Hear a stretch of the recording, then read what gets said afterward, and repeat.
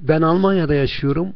Wuppertal'de profesörle görüştük. Gözümün altında çok küçük bir arıza var. Onu düzelteceğini söyledi. İlk ameliyata girdim düzelmedi. Aynı hastanede tekrar profesör ikinci sefer beni ameliyat etti. İkinci ameliyattan çıktığımda gözümün çok kötü bir duruma girdiğini hissettim.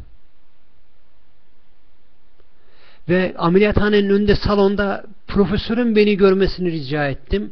Herhalde karambole geldim dedim. Benim ameliyat etti. Tam dikkat etmeden kapattı. Saldılar beni diye. Yarı baygınım. Daha yeni uyanmışım ameliyatta. Fakat gözümün alt kapağın aşağı düştüğünü, şakak dokumun aşağı düştüğünü hissediyorum. Bunun üzerine hastaneden öğrenci çıktı. Profesörün değil, öğrencinin kendisi beni ameliyat ettiğini söyledi. Tekrar ısrar ettim profesörü çağırmasını, uzman bir doktoru çağırmasını ve gözüme bakılmasını ısrar ettim. İsrarlarım üzerine öğrenci profesörle görüştü. Profesör gelip bakma tenezzülünde bulunmadı.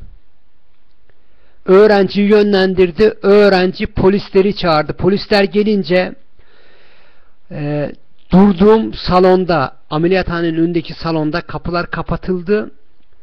Salon boşaltıldı ve meydan dayağı başladı. Bağırttıra bağırttıra dövüyorlar. Ameliyat dikişlerim açıldı. Her tarafıma vuruluyor. Hastane yıkılıyor. Canım yanıyor. Bağırıyorum. Nefesim kesilene kadar dövdüler. Sonra ellerime kelepçeyi takıp sürükleyerek hastane içinde ellerimden sürükleyerek Hastaneden çıkarıp arabaya koydular. Arabadan karakola gittim. Karakolda gene ellerim kelepçeli duvarlara bağlandım. Yerlerde yatırıyorum. Duvarlara bağlandım. Yerdeyim. Duvarların alt kısmına yere doğru bağlandım. Kusuyorum. Kan içindeyim. Kapılar kapatıldı. Biraz sonra akıllı polisler tekrar geldi. Kapıyı açtılar. Benim karakolda durmamı gerektirecek bir suçum olmadığını, bir suç yapmadığımı, taksi çağıracaklarını, eve gitmemi ve bu olayın kapanması gerektiğini söyledi. Bir suç suç unsuru olmadığını. Kapıyı kapattılar. Biraz sonra gelip tekrar bir daha kapıyı açtılar ama durumum çok ağır olduğunu görüyorlar. Ambulansı çağırdılar. Öldüm öleceğim. Eve gidecek durumda değilim.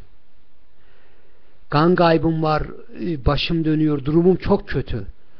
Neyse beni sedyeyle Ambulans arabasına götürdüler. ikinci bir hastaneye getirdiler. İkinci gittiğim hastanede başhekim sandığım doktor arabanın içine geldi. Beni görünce sordu ne oldu diye anlattım. Vücudumdaki izlere baktı. Polislere dönerek şunu söyledi. Bir başhekim, bir doktor emin oluyor dayak yediğimden yani. Vücudumu görüyor, beni görüyor. Bir uzman bir doktor emin oluyor bana dayak atıldığını. Ve doktorla polislere dönerek diyor ki bir ameliyatta hastaya bu kadar vurulur mu? Bir değil, iki değil, üç değil, dört değil, beş değil bu. Bu kadar çok bir ameliyattan kalkan insana dayak atılır mı? Niye vurup vurup buraya getiriyorsun? Başka hastane yok mu? Bunun üzerine polisler savcılığı ya da komiseri aradı. E, hastaneyle bir telefon terörü yaşandı. Hastane beni almak zorunda kaldı. Hastane beni aldı.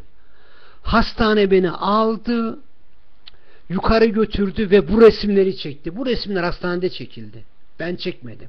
Bu resimleri hastane çekti. Vücudumun her tarafı, dizim, ağzım, burnum, kollarım, bacaklarım, dirseklerim.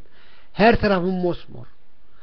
O arada beni gören Alman hastalar Alman gazeteleri sağa sola aramaya başladılar gazeteleri.